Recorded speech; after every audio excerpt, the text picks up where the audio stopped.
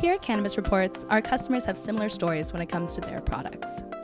You've taken the time to get good source materials, taken beautiful photos, you've had your products lab tested, you've spent time designing beautiful packaging. All the things you can do to provide value to your product you've worked so hard for. But by the time the dispensary gets around to putting your product online, oftentimes you'll be misrepresented. Incorrect photos, no lab tests, your customers are left wondering what it is they're really getting, and you're left wondering if you spent your time and money on all the wrong things. Enter Cannabis Reports. With Cannabis Reports, you're in control of your data and your listing. You can be sure that your story gets told, your information is accurate, and your lab tests are easily accessible.